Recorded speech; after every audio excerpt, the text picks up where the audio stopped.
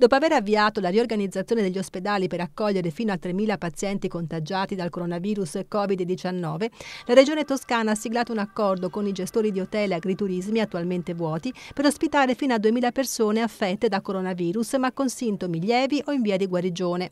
Sarà così garantita una situazione di isolamento e cura, liberando posti letto negli ospedali ed evitando di far tornare i pazienti a casa fino a quando non risultano del tutto negativi ai test.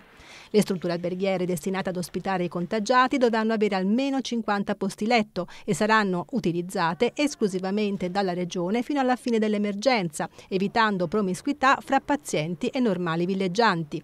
A breve arriverà anche in tutti gli ospedali della Toscana il tocilizumab, il farmaco prodotto dall'azienda farmaceutica Roche per curare l'artride reumatoide che, si è scoperto, è in grado di ridurre i problemi polmonari ai pazienti colpiti dal coronavirus.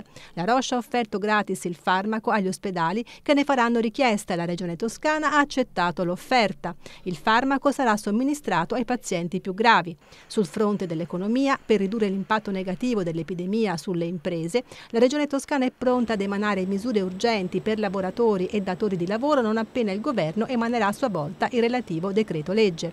Al centro dei provvedimenti per mantenere la continuità produttiva e occupazionale c'è la cassa integrazione in deroga, che potrà essere richiesta da tutti i datori di lavoro del settore privato, incluso quello agricolo, compresi quelli che hanno meno di 5 dipendenti.